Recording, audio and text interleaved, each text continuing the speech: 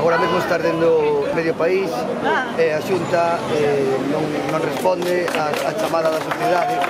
Nós somos 500 traballadores eh, que ahora mesmo estamos finalizando a campaña eh, non temos orden de, de volver a contratarlos. A Xunta eh, volveu a contratar os traballadores de tres meses da, da, do servicio público, eh, entre os cales só están os motobombistas e, e emisoristas. Nos queremos que fan falta brigadas, queremos que fai falta xente no monte para pagar o lume. Estamos eh, nun momento no que pode haber eh, unha desgracia porque realmente non está non está vendo vento.